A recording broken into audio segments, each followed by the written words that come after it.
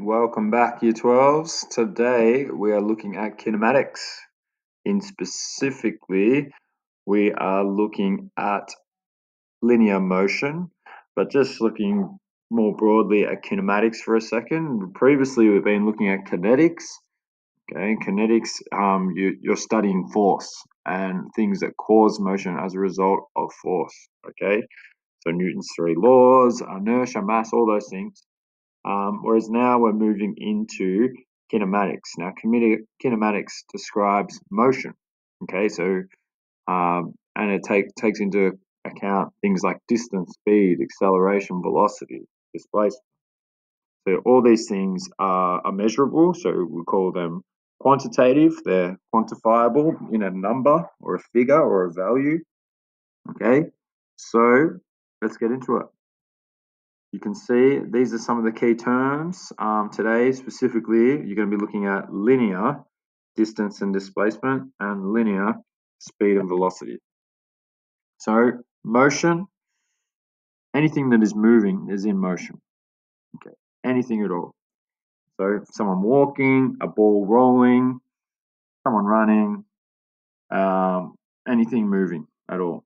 Okay, uh, if an object or body leaves the ground, then is considered to be in projectile motion. So projecting through the air is airborne, therefore it is in projectile motion.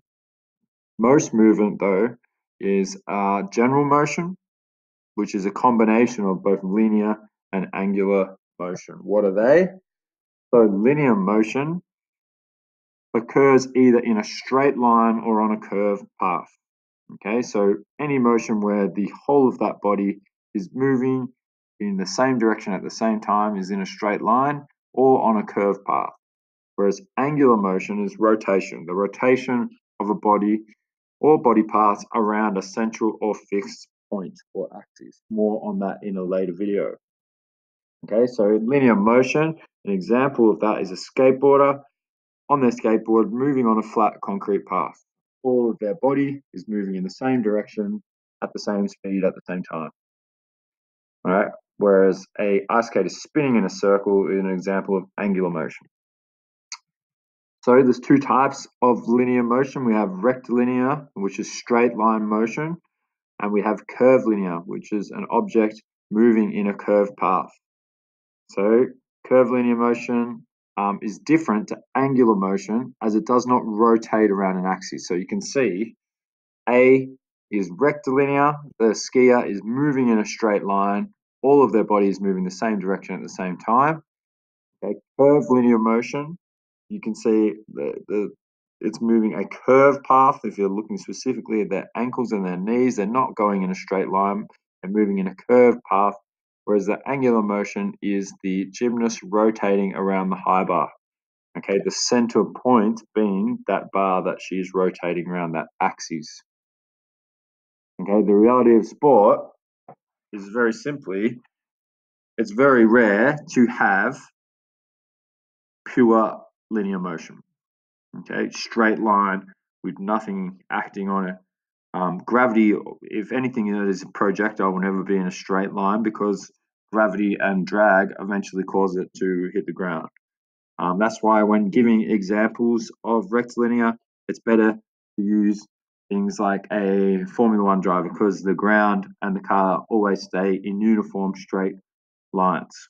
Okay, where a skateboarder, ice skating, if you're not talking about a jump, just simply skating. Um, objects tend to rotate as they pass over a surface. So even in the Formula One example, the wheels of an F1 car do tend to uh, rotate around over that surface. So that is a combination again of linear motion of the whole car, but uh, rotation of the wheels in order to generate that linear motion. So we've already identified that linear being A, curvilinear being B, and C being uh, the angular motion. So, as I said, most are a combination, and here you can see numerous uh, sort of paths here. We've got the person in general moving in linear motion from right to left. However, their legs, um, in order to generate that linear motion, are in angular rotation. Okay, then when she jumps, you can see there's curvilinear motion occurring through the air as she hits the ground. So um, there's a number of words we can use to describe linear motion, and we're going to take a little bit more uh, detail in those. Another one example that we haven't used is a snowboarder.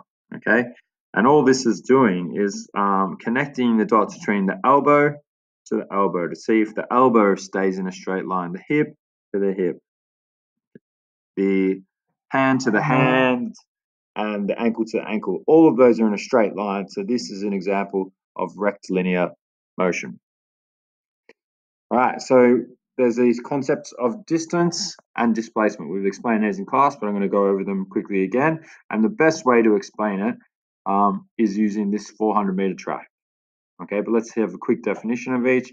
Distance measures the path actually taken from start to finish. So the entire path that an athlete has taken around an athletics track, that is their distance. Whereas the displacement is simply how far an object has moved from the starting point to the ending point. Okay, so um, they start and finish at the same uh, exact point. So the displacement is zero. Whereas their distance, they traveled right around the track. You can see the path of the person there.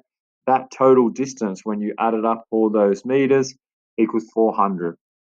Starting point here, ending point here, total displacement zero. So here's another example of that. We have two swimmers, okay? Um, a 50 meter swim, um, swim from one end of the 50 meter pool to the other end. Okay, you can see they started here and they ended here. So the distance they traveled was 50 meters. They started at one end and finished at the other end. So the displacement is also 50 meters. When we look at the 100 meter swimmer, um, they swim from one end of the pool uh, to 50 meter of the pool and then turn around and swim back 50 meters to the other position.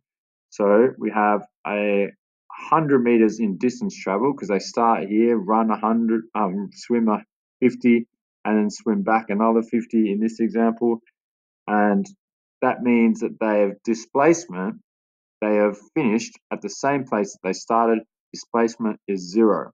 In this example here, I've never heard of this in my life, but this is the example that's been given. Try and trick you out here.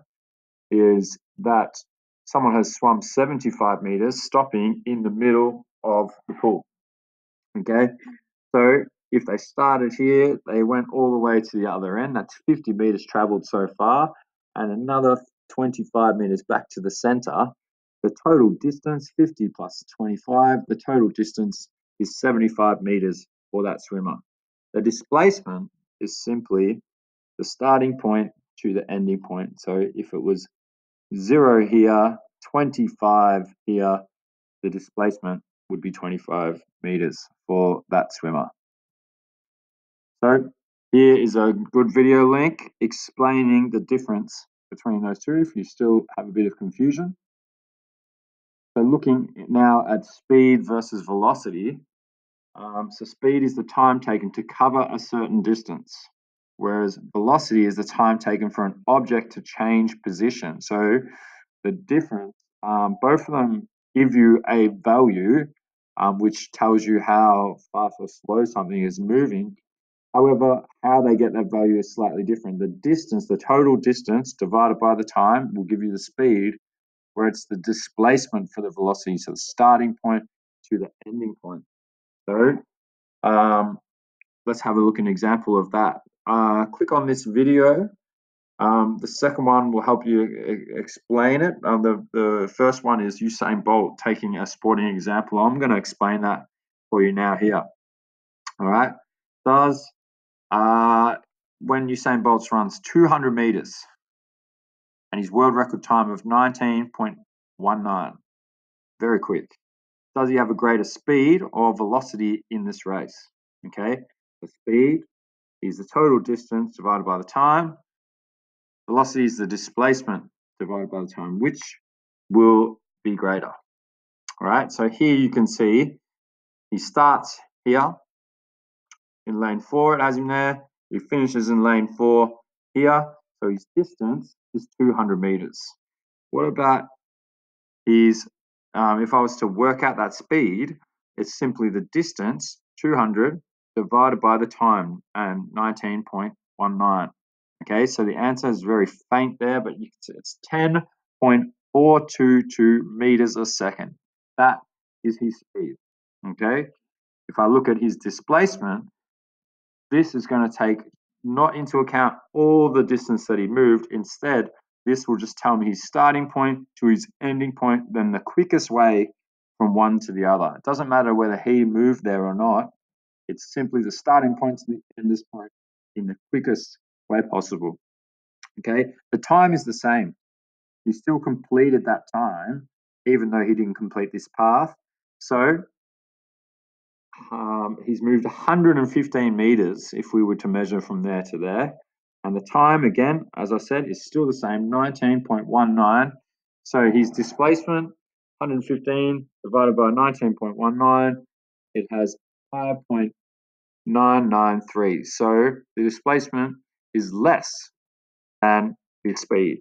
Okay, so which is the highest value? Definitely his speed, because it takes into account every meter that he moved, whereas velocity is the starting point to the ending point, so that's going to be less on this occasion. All right, here's another example. Swim from one end of the 50 meter pool to the other, um, and there's the time that it took them. So the total displacement and the distance are very different um, on the second example, but on this first example, they're the same. So we're going to get the same average speed and average velocity. In the second question, because the displacement is zero, the starting point and the ending point being the same place, the distance is 100 because that's how far the performer actually traveled, 100 meters. Displacement starting to ending point is, is zero. So that means their velocity is going to be zero because if you times or divide anything by zero, your answer is going to be zero. So this is a question they often put in to try and sort of trick someone. Um, calculate the displacement. If, if displacement is zero, then the velocity of that person is also going to be zero. So just to sum things up, the, what is the difference between linear distance and displacement? Well, when we're looking at linear displacement, it's a difference between the initial position and the final position. It doesn't take into account every single movement of the body. It doesn't add up all the little distances. It's just the initial position, point A, and the final position, point B. Okay. Whereas I compare that to the linear distance, it measures the entire total path that the body moved between those two points. Distance does not have a direction, whereas the linear displacement should mention a direction. Okay. So, what is the difference between linear speed and velocity? Linear speed is the rate of motion in relation to distance and time, whereas linear velocity is the displacement that an object experiences divided by the total time taken. So, it and it's important to note, as I said in the last slide, if it has a displacement of zero, then the velocity will also be zero. All right, let's have a look at a couple questions here. An example of linear motion in the human body. Okay, so linear. Um, which one of those would be an example? Pause, have a think for yourself now. And the second question, an example of a change in velocity is, and there's a few examples there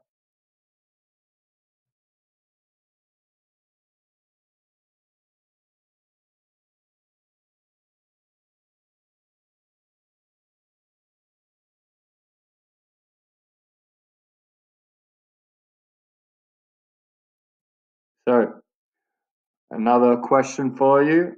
This one involving calculating speed.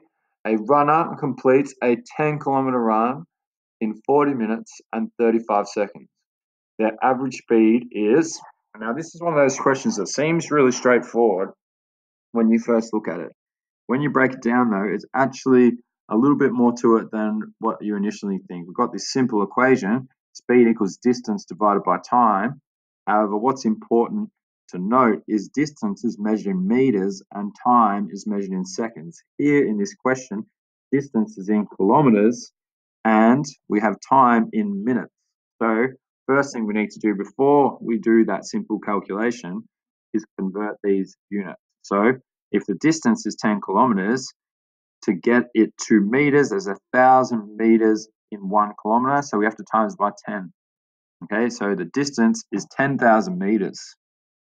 The time is 40 minutes and 30 seconds. So how many seconds in one minute? The answer to that is 60. So that's 40 minutes. So 40 times 60, and there's an extra, oh, I've written 35 seconds. That should be 30 seconds. Okay, so the answer is that. Okay, and if that is the answer, um, then I can now use the simple equation, but using the correct meters and seconds. So 10,000 divided by 2435 equals 4.1. So the correct answer is C. All right, I'd now like you to have a go at the following questions. Good luck.